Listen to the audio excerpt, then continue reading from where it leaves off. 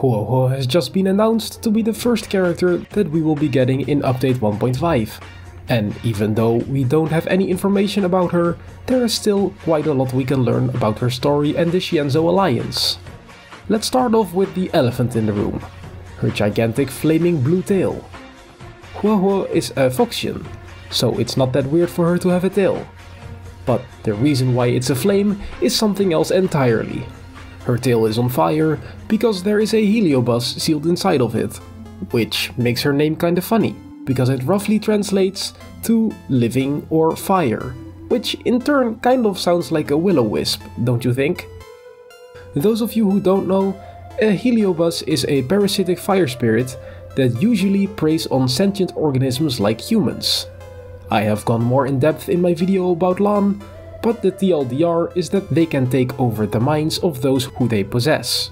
The big band-aid on her tail are talismans that are used to ward off or seal spirits, so I think these talismans are the seals that keep the heliobus safely sealed inside of her tail.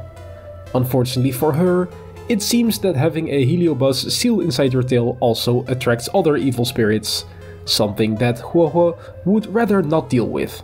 The small story bit that we received reveals that the heliobus was sealed inside of the tail by the Ten Lords Commission, the same commission Xueyi is part of.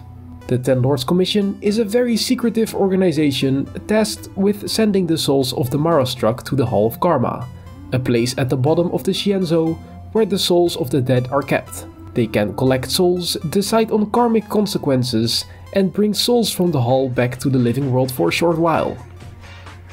After the heliobus was sealed inside of her tail, she was accepted, or forced, into the Ten Lords Commission as a judge in training.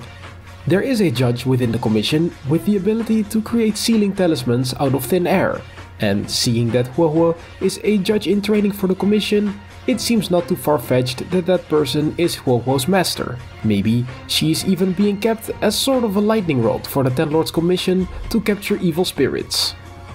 Whatever the case, it seems like Huohuo is not getting out of her predicament anytime soon.